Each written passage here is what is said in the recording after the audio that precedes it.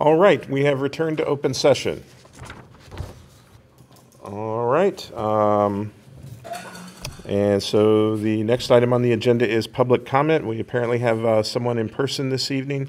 Stephen Wel- Welling, well, I'm sorry, Wallinga or Wel- Okay, yes, it's, got it right the first try, great, thanks. Uh, Yes, uh, Stephen, if you'd like to come and, and uh, speak over at that microphone. Uh, If you could state where, where you're from, that would, that's, uh, would be great, otherwise, it's your option. Uh, And if you could uh, limit your comments to three minutes, that would be appreciated as well. Thank you. Thank you. Uh, I appreciate the uh, effort that the school board has made during the summer to create the school schedule. But I also realize that there are some things that may have uh, been overlooked. I refer to uh, the agenda 6.255, assemblies and ceremonies. I have here an example of one uh, government's opinion of ceremonies and assemblies. Uh, Town of Cicero, on uh, September the 16th, they have listed the Mexican Independence Day. Also Friday the 17th, the Mexican Independence Day. The uh, Saturday the 18th, the Mexican Independence Day, as well as the Seguin Flea Market. And on Sunday the 19th, the Seguin Flea Market from 9 to 3, Mexican Independence Day Parade, and the Mexican Independence Day. I went by the park in Cicero, found the uh, carnival on the north side of uh, 26th Street, and the uh, park uh, all enclosed for the celebrations. But I'm wondering what uh, you have considered for assemblies and ceremonies. Now, I noticed that the uh, Independence Day is tomorrow.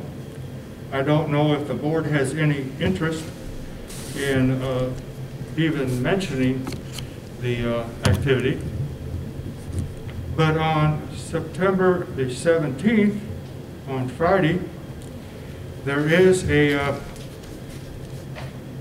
poor uh, interest in the assembly or celebration of a particular event. That event is September the 17th, 1787. And that is the date where the U.S. Constitution was ratified by the uh, people in committee. And it was committee members went back to their states, respective states, to either ratify or reject the uh, Constitution of the United States. I'm happy to announce that Delaware was one of the first to uh, accept that. So I'm wondering if uh, the board would consider either generally announcing to the students in the morning on the 17th that the uh, Constitution was started to be ratified, or whether an assembly or a celebration might be in order. Um,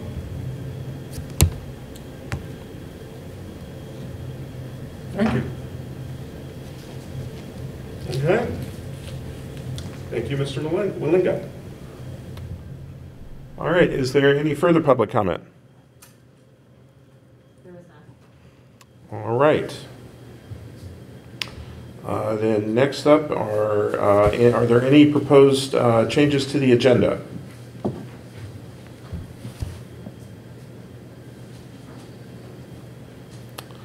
All right, uh, let's see.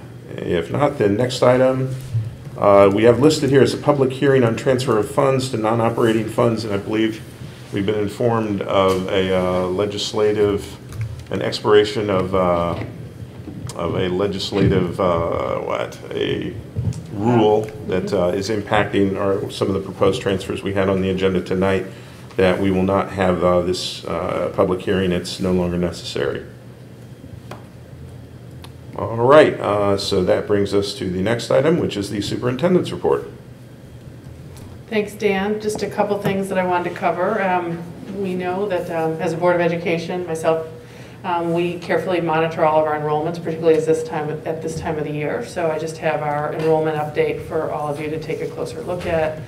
Um, You can see it's my goal that we never have more than 25 children in the class, even though we don't have a tight policy on class size. It's a number we've kind of looked at as a threshold we prefer not to cross, and certainly if we had to, for just the way uh, numbers would come in, we would look at additional supports for a class.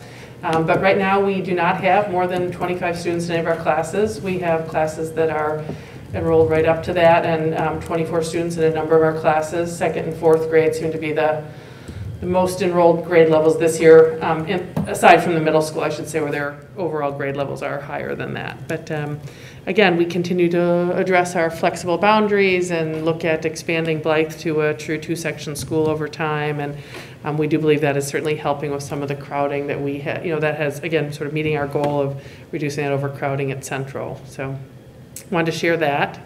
Um, The other thing I wanted to share, um, perhaps maybe more of a immediate interest right now, is the participation rate in our saliva screening. So you have that data. As you know, the, um, the board is very instrumental in moving forward with an opt-out process. So the idea that all children are opted into the process unless parents explicitly opt um, the child out. And I think that did do a lot to increase our overall percentage of participation. Uh, The saliva screening just started today, so it's been um, a process of organization and working with the University of Illinois Shield program, and then what they have done in um, the area, the different school districts, that they've subcontracted with a healthcare partner to actually come in and do the screening. So today they started at Ames, they'll be at Central and Hauser tomorrow, and they're also at Hollywood today, and then they'll be at Blythe on Friday. They're kind of making some stops at the schools to make sure they're fitting in the AM and PM kindergarten classes as well. Um, Unfortunately, I know they didn't finish in four different classrooms today. It was sort of a larger group than they had fully anticipated. Things just took a little longer. Um, I will share with you, that is what I'm hearing from other superintendents too, that everything just takes a little longer than anticipated, whether it's kids' reticence in terms of participation or just taking longer literally to fill the fairly large test tube. Um, But again, the team uh, that came from Visit Health, Visit Healthcare is our uh, partner that's doing it with us. Again, just really positive, um, very flexible in their approach. Um, I came over here when they were actually doing the uh, early learner saliva screening and uh, watched three and four-year-olds stand right out here in the little hub and spit into their tubes. And they were just being cheered on by this team, and they were slowly but surely filling up their tubes. I was very concerned that they are about to spill it all right back out, but um, anyway, the process is underway, and again, things are, um, you know, going relatively well. We're, we're pleased with, with the partnership we, we have with Visit, and we're pleased with the so many parents that have opted into the process or um, haven't opted out, I should say, and also just being flexible and knowing that this is, is not a perfect solution. And we are trying very hard to balance the, the value of this as a safety mitigation along with really not wanting it to interrupt instruction. So um, it's a challenge, and we appreciate where kind of everybody is as we learn. They said eventually we'll get to a point you won't even know we're here. Like, okay, we'll, we'll look forward to that. So I think it's going to take a little bit of time. Oh, I just What's had a that? question. Is, do you think the slowness was because of the newness? I mean, do you think that had something to do with the fact that it took longer than they've been hearing? I mean, this is day one. Yeah, and I think new in every aspect. Like, Right. even though they had done a walkthrough of the building, they found the building to be more complicated than they thought. I'm sure the kids were like, this is what I'm supposed to do, Mm-hmm. you know? So I think it was all of the above. It was their logistics, but it was also um, children. But like some grade levels moved really quickly. So 15 minutes, they were in, they were out. Um, So again, we just keep looking at different processes too. And as, they're also learning from other school districts, like, actually, it might be helpful to bring a larger group out. Like, we kind of thought we'd pass three children sort of out into the hallway and right back in, and they're like, really? Some schools are sending us the whole class, everybody does it all at once, and it almost goes faster. So they'll keep trying and we'll keep trying, and I'm sure it'll just continue to get better. I should note, I think, uh, my daughter was one of the four-year-olds uh, that we encountered Yes. today. Given our experience at home last year for, for three, as a three-year-old, I'm, I'm really encouraged to hear that things went relatively well. I know we, was definitely uh, an issue some mornings getting enough spit, so Yeah. glad that, glad that things seemed to go well for the first day. Yeah, yeah, and, you know, they're scaling up, I, I don't know how many school districts of the 850 some odd school districts in Illinois, but they, you know, seem to be doing work everywhere, so I, I can't imagine their operations that they're addressing right now, so. um, So, Sorry, do you yeah, mind if I ask a question or Not perhaps all. a comment on this? So, yeah, really pleased to see some of the high percentages. Interesting to see how some of like the fifth grade percentages are, are so drastic. I assume that to be the case in junior high because perhaps of the vaccination of Right. Some of the students at the junior high level. I guess my question is, there's certain classrooms, my, my child, uh, my children also participated in it today. There's some classrooms where perhaps maybe one or two children opt out and it becomes fairly obvious to the children who that child might be. So, you know, I want to be sensitive Yeah. to a child whose, whose family made that determination Right. for them and sort of potentially how they might be either treated by their peers or talking points that are given Yeah. to teachers on how to guide. Like if the students ask, well, why isn't this kid getting tested, you know? Yeah. Helping our teachers be able to navigate those Yeah. conversations. Uh, yeah, that, that was just, that was kind of like the first thing that was reported to me, like, who didn't, but, Yeah. you know, so we'll have a conversation about that. too. yeah, Not tonight, because Yeah. I won't see my Yeah. child, Yeah. but, you know, I was just wondering if, if they asked the teachers the same, so yeah. that just uh, struck me based off the, some of the. Yeah, and we, we talked about that, we, you know, we don't want children to feel isolated or left out. Um, Yeah, so I think it's gonna be kind of also a work in progress, and certainly we'd want families to let us know if they feel their child is being sort of ostracized or, you know, made to feel sort of badly about their decision. I mean, we want to support families' decision. We do want to encourage people to participate, but we know it's not something that hundred percent of our families want to do or feel comfortable with. Uh, I, I- I can appreciate what Stephanie's saying, but I mean, this is, a- I mean, thi- this is something, I mean, we're in a pandemic. I mean, we're trying to get rid, uh, trying to get through this, and so I, I want to be sensitive to the kids, but I, I, I am a little disappointed to- to Stephanie's point, that I, I'm sort of surprised the fifth grade is actually as low as it is for the participation. I would have hoped that, um, it would have been higher, uh, but, I mean, I, I would, I'd, I'd hope that the people who opted um, out of this would opt back in because there is, I mean, just based on what's going on in other school districts uh, throughout the nation, we are, I mean, kids, these kids are getting sicker.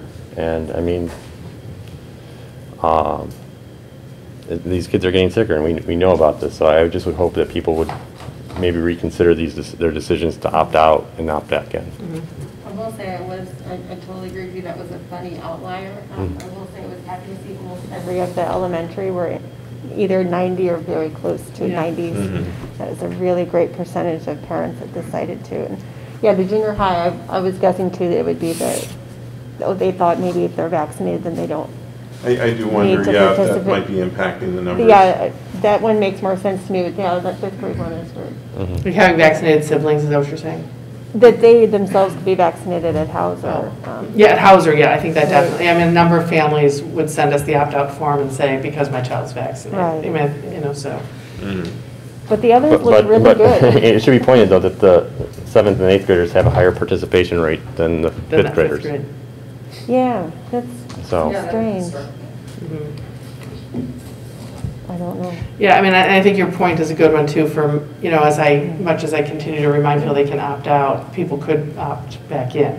right. Certainly. Yeah, or if they'd chosen not to. And I think, I think there are some people we know that are just reticent to, to have their child's saliva collected. It feels strange.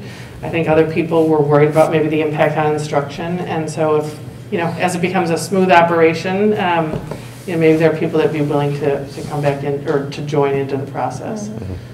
So we'll keep those options out there and available and, um, in our communications. The other thing I just want to add is COVID communication. So as you recall, last year up until about, I don't know if it was, I don't remember what what month it was I used to send out a notification about every single COVID case. Other districts were doing that also. We then decided that we would keep all of our COVID data in a COVID dashboard. Right now, it's more of a chart.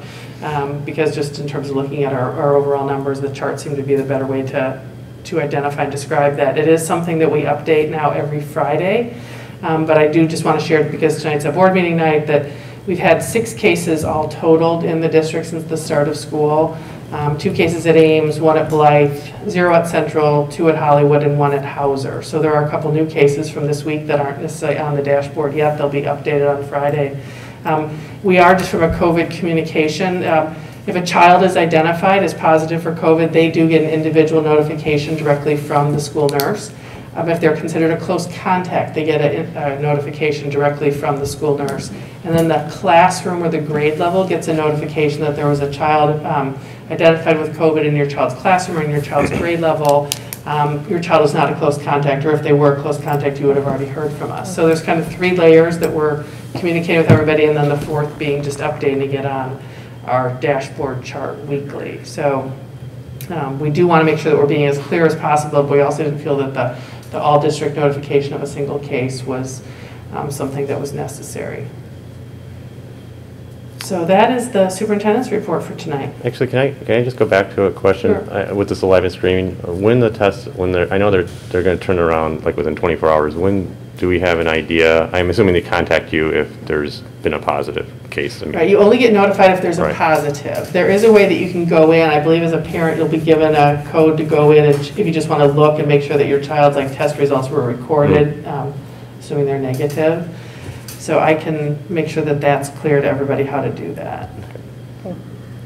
But, but if, that's, it's sort of the no news is good news. Right, yeah. Yeah. They're saying 12 to 24 hours, and I've heard they're really good with the 24. Mhm.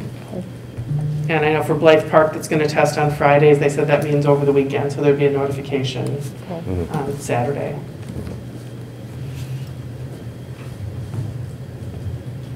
Any other questions about any of that?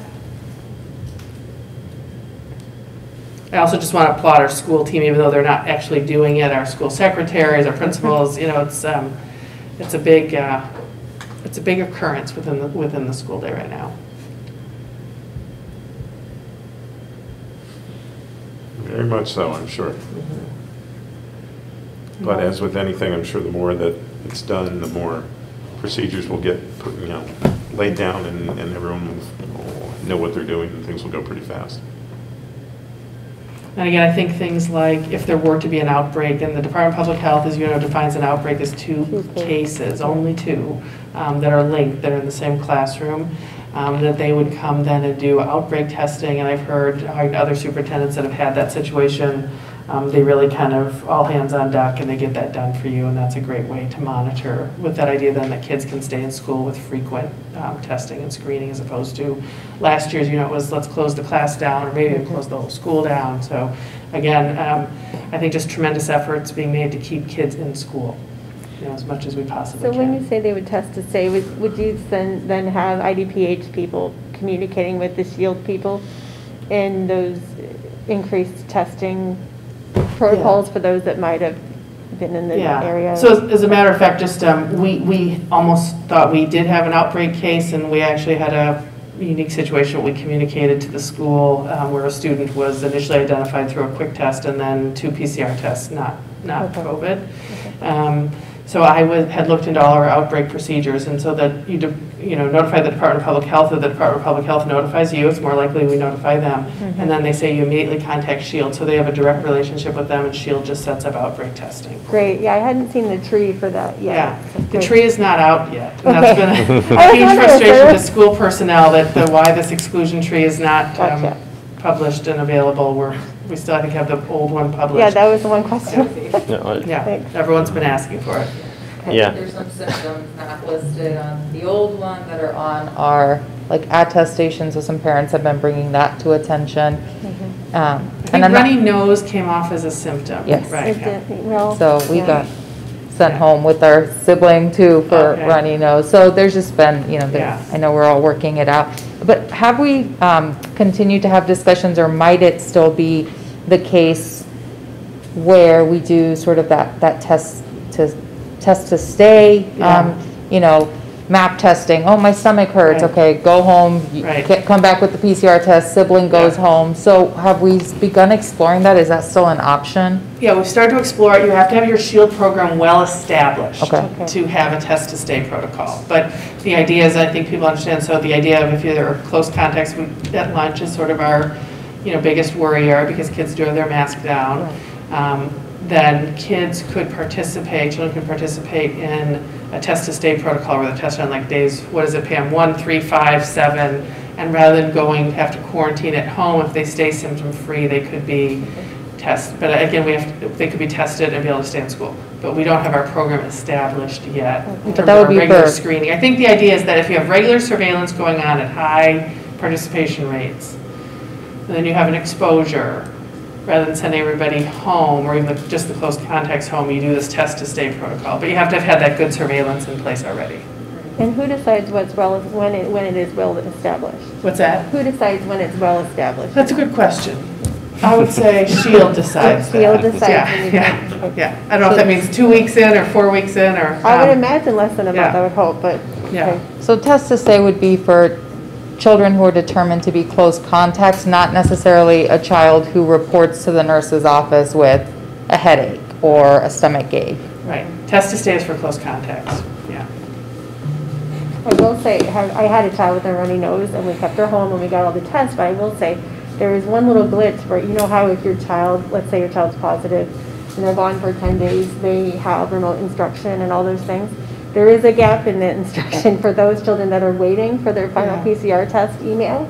Um, We waited four days for the results. Oh, wow. Oh, wow. a long time, um, even after calling the number and knowing you couldn't get through. And so there is a, I, I noticed there is a policy gap because, you know, you say, can my child participate remotely? But the answer was no.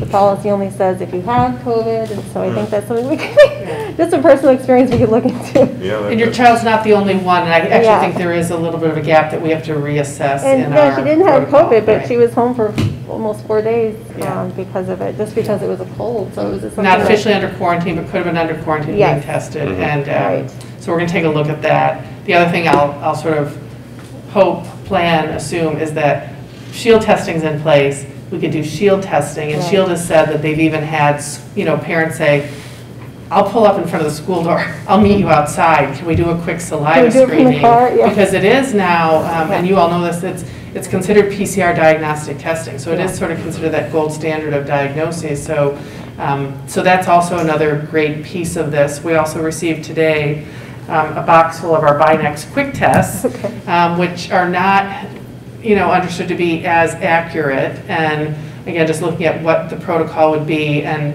what I'm hearing is if you have Shield, if you have the saliva option, you would go with the saliva option as Right. opposed to the quick test option. So again, we're really eager to get this firmly established in the system, and I, I think your question's a great one about, you know, what does it mean to be sort of fully established? No, I will, I will ask them that question. No, and the staff so. said, no, you're not the only one. We have, and the nurse said, no, there are a bunch of people waiting three Yeah. to five days, and it seems even longer than last year for some reason. Yeah, But Yeah, um, well, it was just all the something I kids are noted going. Yeah. that, that, no, it it was really like, she could have been connecting in with her class and listening to the teacher instructions. But, Yeah. you know, one of those things I thought, wow, there's a weird policy issue here. yeah. But, um, no, it- it's all good. I mean, you survived, but it's just a little. Well, it's bit- good that you brought that up, because that definitely sounds like something that we could take a look Yeah, at in if- the if we're the only one, fine, but Near if there's a future. bunch of people, then we could fix it. So, Thanks. All right. I'm good, thank you. All right, that takes us to the next item, which is the uh, consent agenda. Can the board secretary uh, review the contents of tonight's consent agenda? Sir, tonight's consent agenda consists of meeting minutes from three previous meetings, August 4th, 2021, closed session and the special meeting, and August 18th, 2021, minutes of the regular business meeting. Personnel report as presented, the payables pre-list as of August 31st, 2021, payables pre-list as of September 15th, 2021, the EIS Administrator and Teacher Salary and Benefits Report for 2021, and the Eklund Consulting Agreement, which we had some dialogue about um, at the last meeting. All right. Thanks, Wes. Uh, At this time, is there a motion that the board approve the consent agenda as presented? So moved. Second. All right, uh, Kathy, can you call the roll? Mr. Barsotti? Aye. Mr. Muirhead? Aye. Ms. Gunn? Aye. Ms. Cliver? Aye. Ms. Murphy? Aye. Mr. Marvel? Aye. And Mr. Hunt? Aye. Motion passes. All right, uh, then next is uh, board member comments. Are there any board member comments this evening?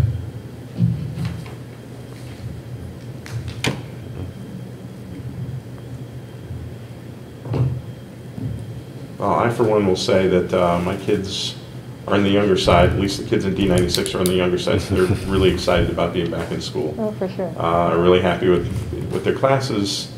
Uh, my first grader is amazingly excited about two recesses during the day. it's a wonderful thing, wonderful thing. Uh, and it's, it's uh, yeah, just great to have everybody back and uh, great to see that we're off to such a great start this year. All right. Uh, Then that will take us to committee reports. Uh, The first committee listed, excuse me, is uh, the policy committee. Yeah, I don't have anything new um, from the policy committee, just thanks to everybody again for helping review the, under the initial reading of the Press Plus release um, at our last committee of the whole meeting. I know those items are up um, for action later under old business, but that's it. Mhm. Okay. Thanks, Stephanie. Uh, Next is the education committee. No, we haven't really met in a while. Yeah, we, we had a great conversation at Wells, actually, the whole meeting about um, a lot of the initiatives that are moving forward with the strategic plan. Um, So I would urge people to listen to that conversation, but beyond that, there's. Yeah, just to remind the board that we're every month going to be diving a little bit deeper into each of those strategic plan pieces. So you'll be hearing more and more as we go further in and then after. Angela's met with more and more with the, um, Professional Development Planning Committee with all the teachers, then we'll hear more about what they decided and what their work will be through the year, so. All right. Thanks, uh, Linda and Sherry. All right, then next is the personnel committee. Uh, No updates since uh, our last meeting two weeks ago around the strategic plan, um, but potentially some more next meeting at the next COW. Okay. Thanks, Wes. Uh, Then next is the finance committee. Uh, No updates, except that uh, we're going to vote later on making uh, transfers for our final debt payment in November, so, All right, now that's worth a celebration. yeah. Yeah. All right, thanks, David. Uh, And last is the uh, facilities committee. Not too much. We are working on setting up a meeting probably next Monday. Um, Need to confirm some times, and people may have noticed there were some emergency equipment out by Hollywood this weekend, and uh, gas main was hit, and contractors do everything they can, and the utilities do everything they can to try and avoid conflicts, but um, it does happen, and our owner's rep was out there right away, and everything's, everything's fine. Okay. So I, I think that was, at least the initial indication was that that was the subcontractor was at It- fault there. it- Honestly, it doesn't. In, in this case, it's an underground utility that was not properly either identified or someone wasn't paying attention. Mm. It's essentially human error, Mhm. and they do everything they can to avoid that, but it's human error. Mhm. So, I will say I was impressed with how quickly Ramos was out there and Yeah, helping everything to resolve. Mhm. yeah, definitely. Mm-hmm. All right. And I should add that the new lock went in on the zoo gate Hey, all right. for our staff. Kim Hefner's car was locked at the zoo the night of parent night. Oh, no. She stayed late and the zoo closed, and so uh, I gave her a ride to work the next morning. Oh, oh. All right. Uh, Well, that does, that brings us to old business. Uh, The first item under old business uh, is the approval of the Riverside Educational, Education Council Agreement. Uh, At this time, is there a motion to approve the Riverside Education Council Agreement as presented? So moved. Second. All right, is there any discussion? You, you want to, uh, so Joel and I, as, as everybody here knows, but just for, uh, refresher here, Joel and I were part of the, the two board members that were part of a large committee to go through negotiations with the REC, and uh, we're thrilled that we're at this point of, uh, getting a, a pretty overwhelming ratification. Um, I think we, we had some really good dialogue over several weeks of Zoom meetings, and back and forth and, and really trying to get into what was important to all of the parties involved and, and how do we move forward with it. And I think even beyond this contract, I think there was uh, a lot of dialogue around like non-contractual things that kind of feed into a lot of this that were taken away, like good takeaways of just things we could do different, better, evolve through how we engage uh, with administration and staff and all these other things. So I think overall it was it was uh, really really good dialogue to to get at some of the undercoatings and, and a lot of this stuff fit directly in the strategic plan. Um, I, I think overall I, I was I was pretty happy with the end of it. I, I think Joel and I kind of touched base with it and we thought um, it was a pretty fair deal and, and hopefully with the, the numbers that the ratification came out to, hopefully that's that is an indication of similar sentiment on the other side. But um, yeah, I think overall it was a really good process. I'd agree. We had a, a good, this is too loud. Um, we had a good opportunity to meet with the, the rec and their representatives are here right now. And this was a, we talked, as Wesley said, both contractual issues and then some cultural issues that maybe fit within and trying to define how, how best to, um, document and memorialize and build trust and um, look to, to promote uh, teacher engagement and teacher learning and get everybody on the same page. And it was, it was very good discussion, even though it was on Zoom and many evenings of that discussion. And there's a, we're going through a, a joint statement process right now too, just to kind of hit on that of kind of releasing some broader stuff. I, I think we're still kind of figuring out exactly how to do that, but right now I think we'll do just like a, a joint statement between REC and, and the district, and then I think we're gonna do, uh, I'm sure Mr. Skolnick will be, uh, digging through the however many pages of the contract it is to, to do his own analysis, but we've got kind of a summary of some of the main points or some of the key issues that we would like to kind of share with the community. Um, I guess in relation to kind of goal four here, the, the family and community partnerships, just like providing that transparency and that communication to parents within the district, but then, you know, we can, the landmark will get to that broader base of people that kind of pay attention to what we do and everything. So trying to look through different mechanisms of communicating this and kind of celebrating this and, and making people um, that are interested aware. Mm-hmm. Well, you know, thanks to everybody involved in that process. It was a lot of, lot of time, a lot of meetings, Thank a lot of Zoom, uh, so much, so I'm very thankful that I was not uh, on that committee to do it. Uh, But also, I think it- it's, it's, it is a a great sign for all of us that, I I think, uh, we've heard several times that uh, these things always go into overtime. These things always go and keep going into the year. And, and I think by, you know, the, the original calendar, we should still be hammering and negotiating rather than voting on an agreement now. So I think that's a great step for everybody that we're able to get this done, um, you know, essentially before the school year starts or just as the school year is starting. And, and as you can appreciate, being part of the strategic plan, it would have been much easier, I think, if we'd been able to get together in person. Those, talking through a computer for several hours over several weeks is just, it's, it, that alone is exhausting, let alone trying to go through the content, so. um, But four years from now, hopefully we can do that in person next go around. so. Yeah, yeah. Yeah, I just want to iterate, I want to thank Joel and Wesley for participating. It was a lot of hours, a lot of Zoom hours.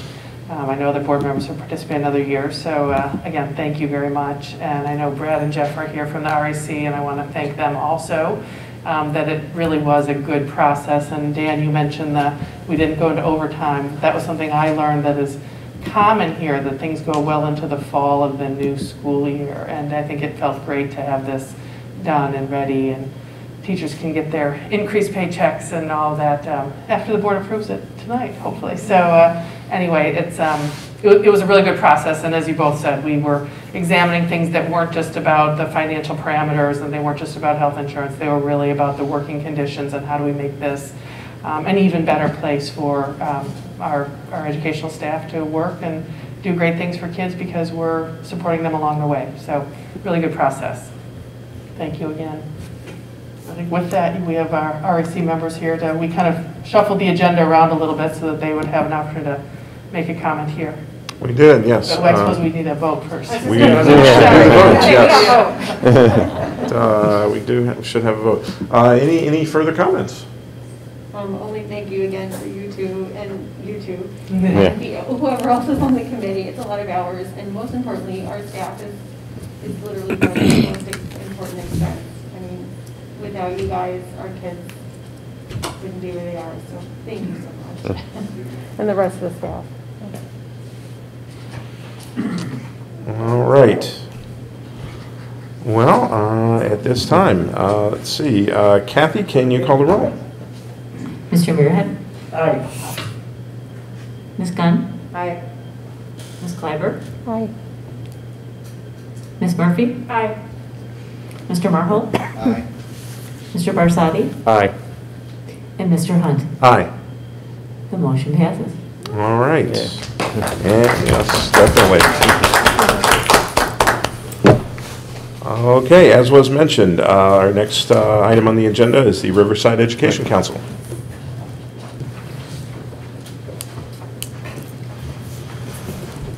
Good evening. Hello, Hello. Good evening. Uh, I'm Jeff Wydra. I teach fourth grade at Ames School. I'm Brad Meyer, teach band at Hauser. And as the new co-presidents of the REC, we are so pleased to report that the Riverside Education Council has voted in favor of our tentative agreement by a large margin, 111 to 14. Um, we are so encouraged by these numbers and look forward to implementing and upholding this contract for the next four years. Uh, we'd like to thank Wesley and Joel. It's nice to meet you in person and without the, the screen. Uh, and the administration team for their time, collaboration, and focus. This really allowed the negotiation process to conclude. I think at the end of June we concluded, which was oh, light years ahead of what former contracts in this district have been. So thank you for that. And just thank you again for helping the union in, in meeting the needs of the prof- and professional needs of our staff and our teachers and everyone involved. So thank you. Thank you. Thank you. Thank you.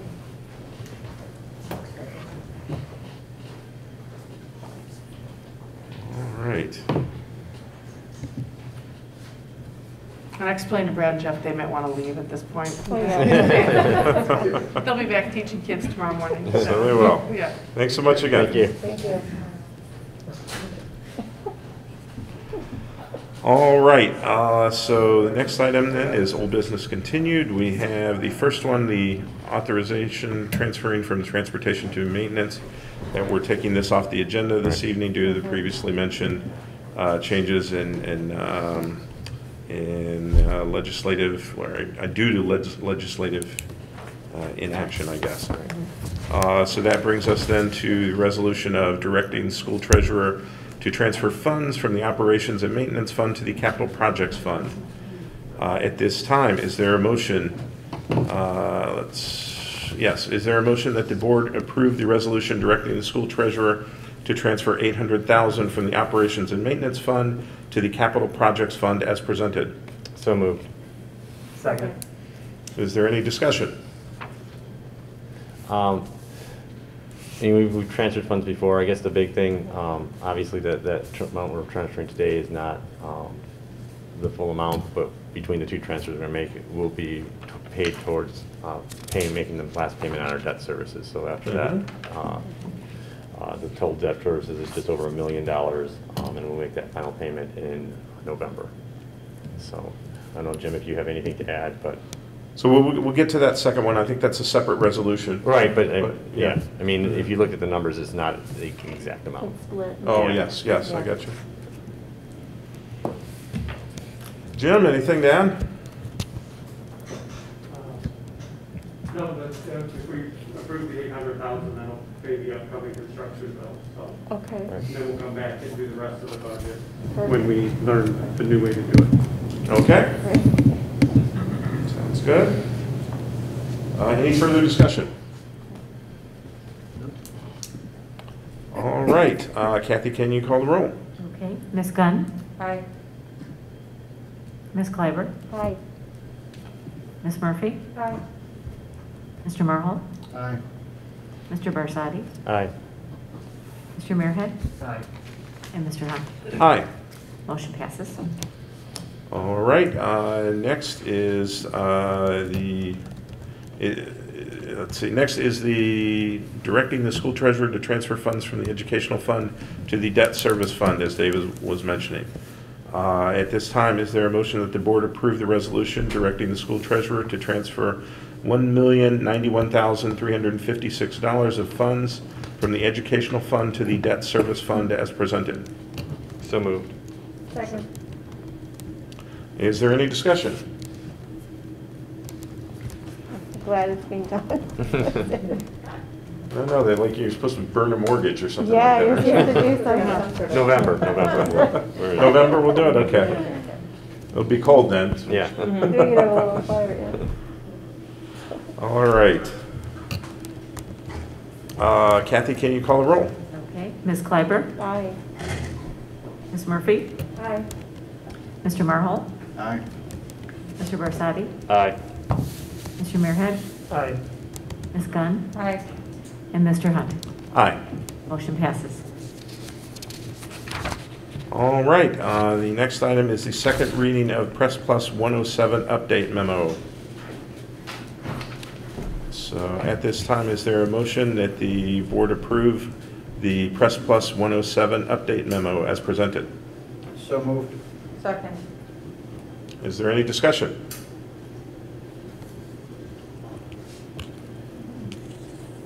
All right, if not, Kathy, can you call the roll?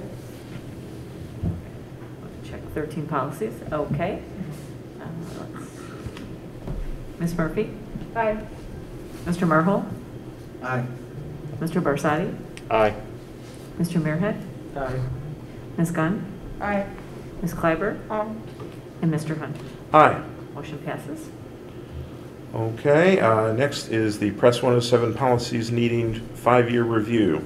So at this time, is there a motion uh, that the board, oh boy, I don't have text in front of me, I'm running into trouble. Is there a motion that the board uh, approve the Press 107 policies needing five-year, pres- five-year review as presented? So moved. Second. Is there any discussion on these? All right, if not, Kathy, can you call the roll? Okay. Mr. Marhold? Aye. Mr. Barsotti? Aye. Mr. Muirhead? Aye. Ms. Gunn? Aye. Ms. Clyber? Aye. Ms. Murphy? Aye. And Mr. Hunt? Aye. Motion passes. Okay, uh, next, is there any additional public comment?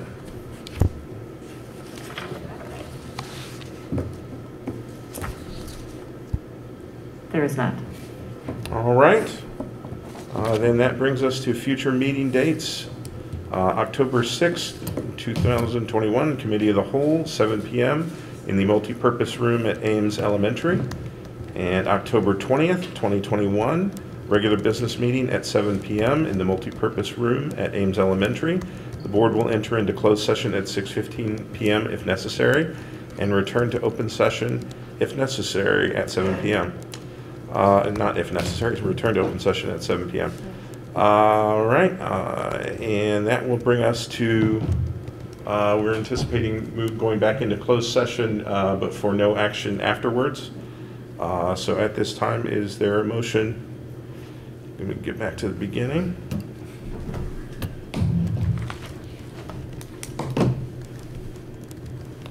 All right. Which one are we discussing? Okay. So at this time, is there a motion that the board enter into closed session to discuss uh, security procedures and the use of personnel and equipment to respond to an actual threatened or reasonably, reasonably potential danger.